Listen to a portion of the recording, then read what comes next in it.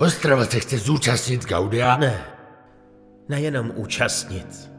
Chceme vyhrát a přitom vám ukázat, jak do sebe panáka kopnout. tak Ostrava by chtěla připít Brno. Oh, nejenom Brno, ale taky slavnou matku Prahu. Pičo. Vy jako vítězi Gaudiamu Alkutur. Vítězi? A taky králové. Hm. Každého dalšího ročníku Gaudiamu Alkotur na celém světě! Ukážeme holčičkám a klučičkům z Prahy a Brna, co to znamená chlastat pivo! Báňská a Ostravská univerzita ví, co to znamená. Studovat vysokou školu.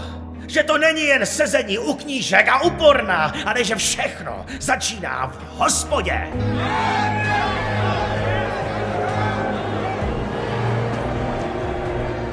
V úterý 27. října zapaříme v hale Tatranu Ostrava a všichni uvidí historický souboj mezi Báňskou a Ostravskou univerzitou, které společně přepijou Prahu.